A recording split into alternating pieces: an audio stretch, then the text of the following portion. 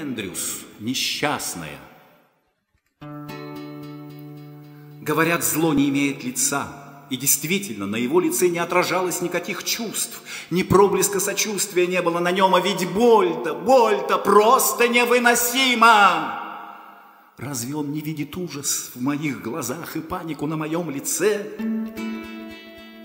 Он спокойно, можно сказать, профессионально выполнял свою грязную работу а в конце он учтиво сказал, прополощите рот, пожалуйста.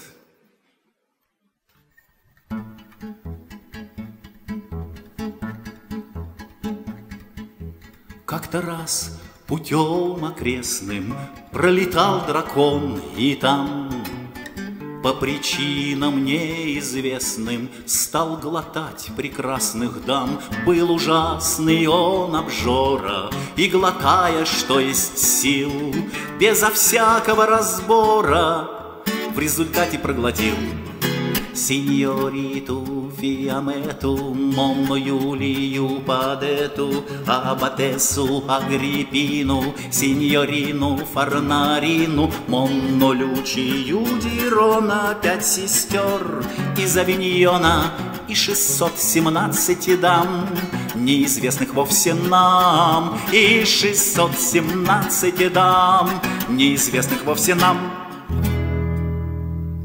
Но Однажды граф Тедеско, забежав дракону в тыл, Вынул меч и очень резко с тем драконом поступил, Разрубив его на части, граф присел, и в тот же миг из драконей вышли пасти, И ему на шею прыг. Синьорита Фиамета, Монна Юлия Падета, Абатесса Агриппина, Синьорина Фаранарина, Монна Лючия Дирона, Пять сестер из Авиньона и 617 дам, Неизвестных вовсе нам, и 617 дам, Неизвестных вовсе нам. Бедный тот дракон в несчастье, оказавшись неудел, Подобрал свои все части, плюнул вниз и улетел. Но, увы, с тех пор до гроба Храбрый граф, собравшись в путь, Все искал, искал дракона, Чтоб с извинением вернуть. Signorino Fiameto, Monno Iulio Padeto, Abatesso Agrippino, Signorino Фарнарину, Монну Лючию Дирона, Пять сестер из Авиньона и 617 дам неизвестных вовсе нам, и 617 дам, неизвестных вовсе нам. Signorino Fiametto, Monno Iulio Падету, Абатессу Агриппину, Синьорину Фарнарину, Монну Лючию Дирона, Пять сестер из Авиньона и 617 дам, неизвестных вовсе нам.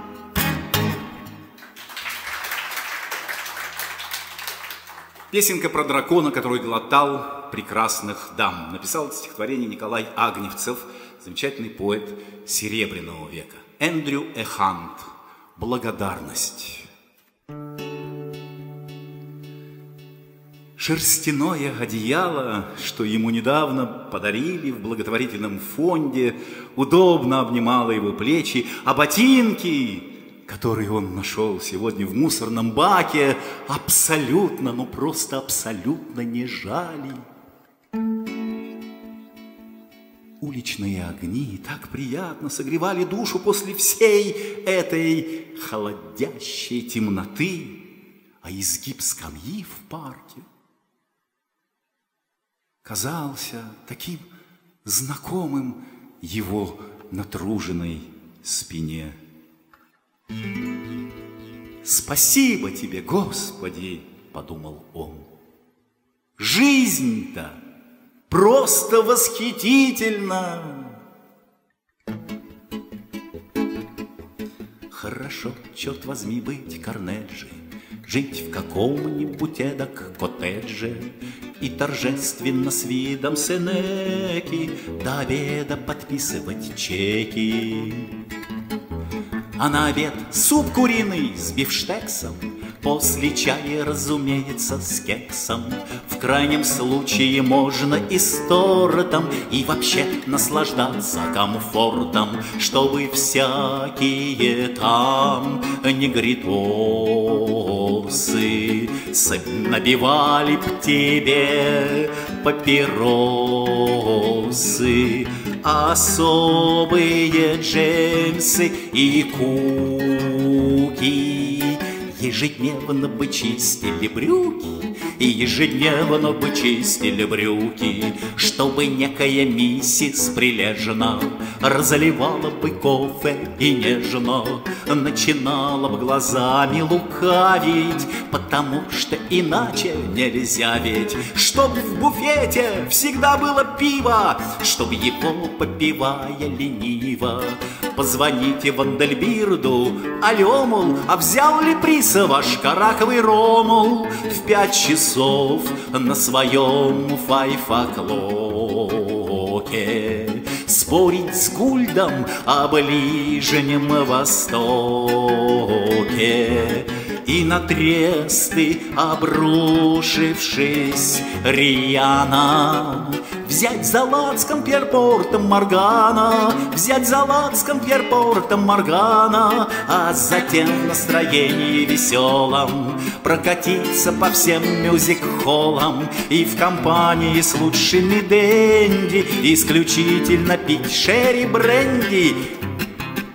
А если ж денег случайно не хватит, Ну Китай что ли в срок не уплатит, То вздыхать и не придется тревожно, При занятии у Рокфеллера можно. А хорошо, черт возьми, быть Корнеджи, Жить в каком-нибудь эдак коттедже,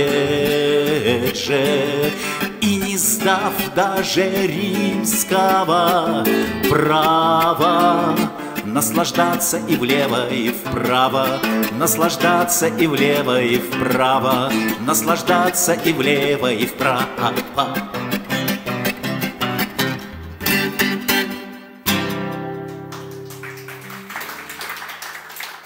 Мечты, мечты. Стихотворение написал Николай Агневцев.